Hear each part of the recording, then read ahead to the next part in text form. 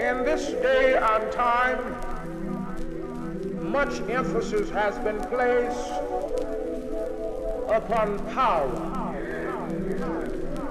For everybody is power conscious and power hungry.